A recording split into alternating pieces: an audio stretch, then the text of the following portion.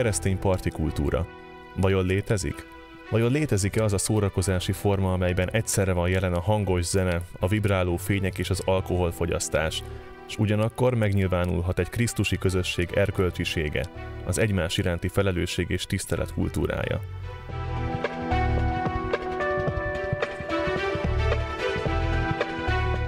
Önfeledten szórakozni jó helyen, jó emberek között, ahol mindenki biztonságban érezheti magát. A Gödöllői Szent Háromság plébánia ifjúsági közössége immár közel négy éve szervez olyan táncos, kötetlen együttléteket, melyek a mai kor technikai és zenei ízlését maximálisan kielégítik, de morális alapjaiban a krisztusi testvériség és a kölcsönös tisztelet értékeit képviselik. A rendezvényeket újra és újra életre hívó fiatalokat az a cél vezérli, hogy bebizonyítsák. A 21. század partikultúrája igenis létezhet biztonságosan, emberségesen, de mégis valódi önfeledtségben és szabadságban. Őszintén szólva nekem ez régi vágyam volt, hogy tudjunk kötetlenül együtt szórakozni, hasonló gondolkodású fiatalok. A kezdetektől úgy gondoltam, hogy egy ilyen bulira szükség van. Akikkel beszélgettem, mindenki azt mondta, hogy ők ilyen teljes nyugalommal jöttek. Már hogy tudták, hogy egy olyan közösségbe jönnek, ahol nem kell tartani attól, hogy balhé lesz, ahol, ahol simán oda mehetnek bárkihez, hogyha valami problémájuk van, vagy tényleg bármi lenne. Van egy alapbiztonság.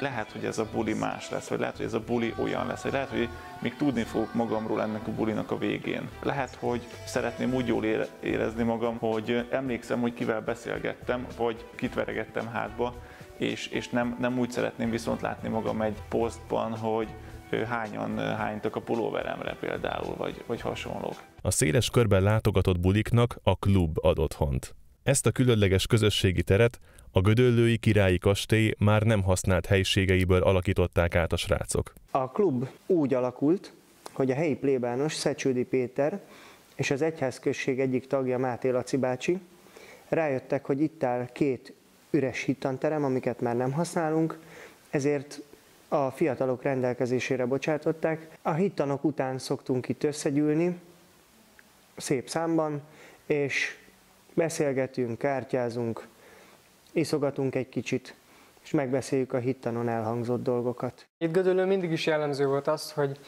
hogy bár fontosak a mélységek, fontos a kötetlen és szabad, könnyű együttlét és mulatás is, hogy a, hogy a vidámságban is tudjunk együtt lenni. Ez, ez az egyházközségi farsangokon, szilvesztereken és minden ilyen jellegű együttlétünkön megnyilvánult. Ahogy teltek, múltak az évek, a klub nagyon sokféle funkciót betöltött a közösség életében. Volt ez próbaterem is, a pénteki, pénteki együttlétek helye, és aztán elkezdtünk itt is bulikat tartani az ifjúsággal külön. Láttam az igényt rá erre a bulira, és amikor megcsináltuk, akkor utána meg azt éreztük, hogy ez nagyon jó volt. Nem csak nekünk, hanem azoknak is, akik eljöttek, és nagyon élvezték. És úgy éreztük, hogy ha valami ennyire jó, akkor azt csinálni kell mert valami nagyon egyedülállót csináltunk itt, azt hiszem azzal a bulival, illetve az utána következő pár másikkal is. Én ilyen jellegű rendezvényel még nem igazán találkoztam.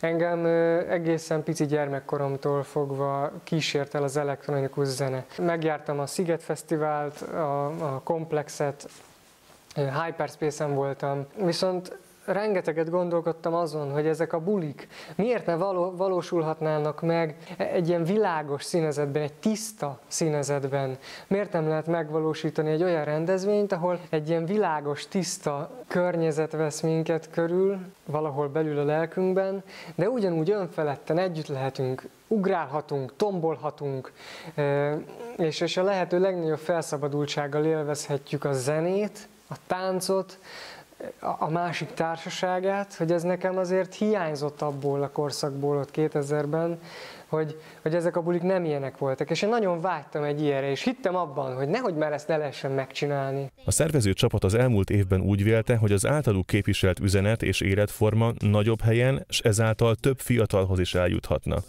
Így 2013. szeptember 14-én Budapesten a Párbeszéd házában tartották meg a rendezvénysorozat tizedik állomását, melyre a vártnál is gyorsabban fogytak el a jegyek. Mit jelenthet egy valódi krisztusi közösségben budizni, és ez miért volt ennyire vonzó sokak számára? Erre keressük a választ.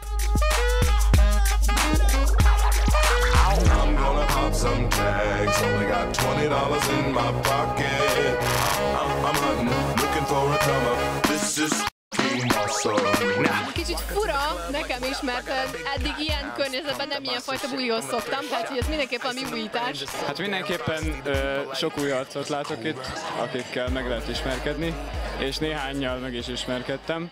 Mielőtt tehetséges DJ barátaimnak átadnám most itt a terepet, meg a hangot, meg a mindenséget, három kulcsfogalmat szeretnék ajánlani a ma esténk margójára. Az első a szórakozás. Azt szeretném kérni tőletek, hogy érezzétek magatokat otthon, és nagyon-nagyon jól. Tisztelet. Tehát szórakozás, tisztelet. A közös örömhöz én azt hiszem, hogy nélkülözhetetlen a tisztelet. Nélkülözhetetlen az, hogy tiszteljem magam és a másikat, a mellettem állót. A harmadik pedig az emberség, amiről már itt volt szó korábban. Isten gyermekeiként mindjárt Krisztusban testvérek vagyunk.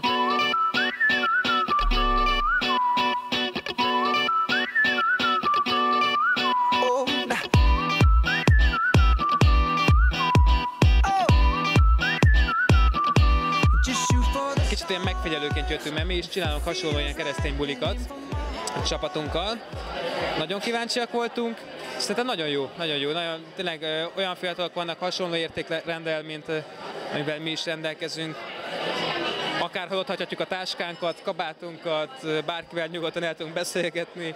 Úgyhogy szerintem nagyon jó, nagyon jó a légkör, jó a hangulat, még, még ez lesz még jobb szerintem. Ez a buli, ez olyan, hogy Szerintem ezből sokkal több kellene. Azért, mert az a tudat, hogy kicsit hasonlóan gondolkozik mindenki, mint én. Közvetlen mindenki, hogy oda megyek egy lányhoz, akkor nem mondja ezt, hogy van barátom, és hogy hagyjál békén, hanem úgy el tudok kezdeni beszélgetni.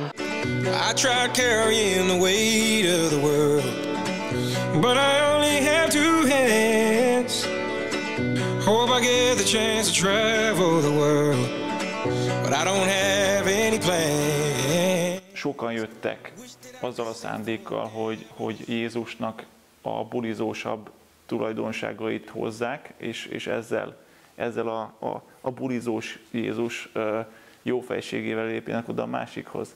És ez működött, tehát láttam működni. Tehát nem csak elmesélésből tudom, hanem láttam saját szememmel ezt működni, láttam ezeket a Jézusokat egymással sörözni, beszélgetni, táncolni, nevetni, és, és ugye, ugye a Szentlélek, aki rengeteg dologban segített az előkészületek során, tehát az eszközöket beszerezni, a, a, a lehetetlennek tűrnő határidőket tartani, a szállításokat megsegíteni.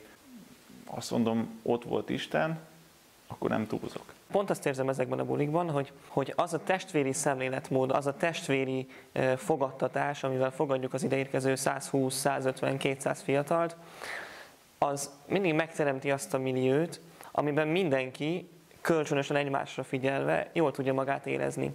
Akik itt bent vannak az épületben, ők is jól szeretnék magukat érezni, de nekik fontos az is, hogy mi jól érezzük magunkat. Tehát amikor már egymásra figyelünk, és nem önző a szórakozásunk, hanem egymásért vagyunk itt, és úgy akarjuk jól érezni magunkat, hogy a többiek is jól érzik magukat. Ez ad egy, egy másfajta színezetet.